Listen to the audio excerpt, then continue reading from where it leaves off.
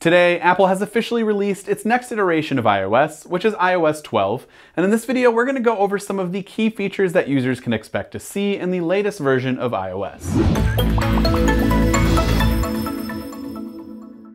With iOS 12, Apple really focused on improving performance and reliability, as well as help make iOS 12 fast and efficient across all devices, including older iPhones and iPads.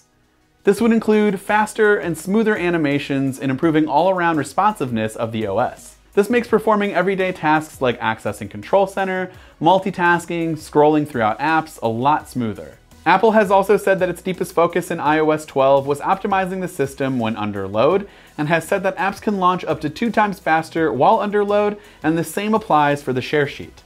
Apple also took digital health very seriously this year, and to help with that, they introduced screen time as well as some other various ways to help limit distractions. Screen time is a new section inserted right into the Settings app and can give you a rundown of how much time you're spending on your iOS device. You'll have access to data from various categories like app usage, how often you pick up your iPhone, how many notifications that you might receive in an hour, and which app might be sending you the most notifications, websites visited, etc. You'll also have the ability to schedule downtime away from your device, set app limits, choose which apps are always allowed, and control various content and privacy restrictions. Notifications also received a hefty update both visually and in functionality. In the past, notifications could pile up and form a massive scrolling list of duplicated notifications from the same or multiple apps iOS 12 introduces group notifications, a highly desired feature that cleans up the lock screen by grouping incoming notifications by app,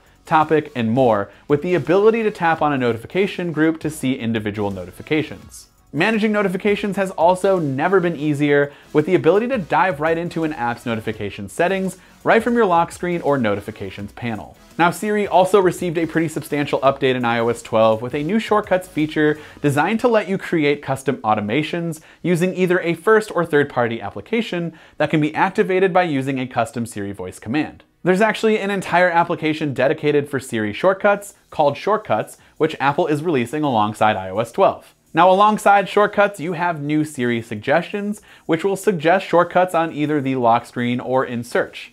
Siri can also help you search for photos by time, location, people, topic, or recent trips to find relevant photos or memories. For devices with the TrueDepth camera system, iOS 12 brings new Animoji features like tongue detection and improved facial tracking.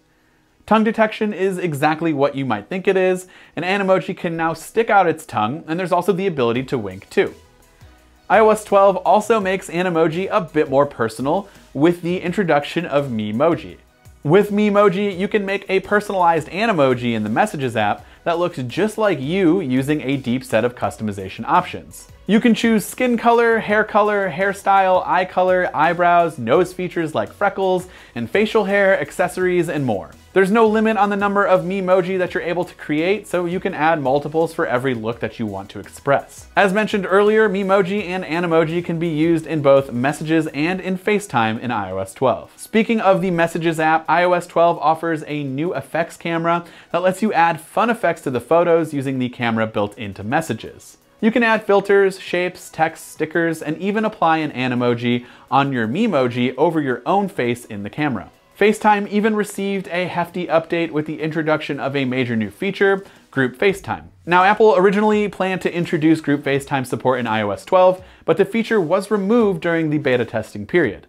It will be introduced later on this fall in a future iOS 12 update. Group FaceTime supports audio and video chats with up to 32 different people at one time.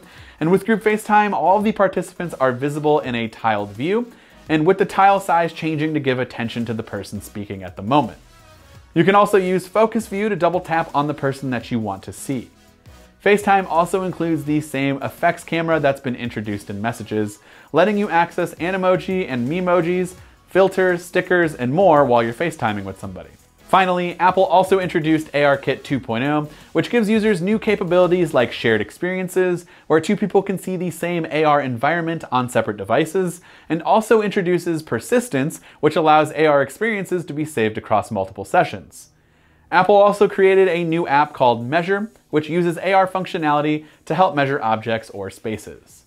iOS 12 is compatible with all iOS devices that are able to run iOS 11.